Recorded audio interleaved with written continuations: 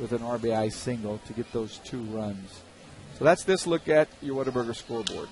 3 2. Fly ball deep left field. Harris going back. He's at the track, at the wall, jumps up, and this one's gone. Home run, Ryan Rua. Just barely over the fence in left field. It's Rua's fourth of the year, and it gives Frisco a 3 to 1 lead.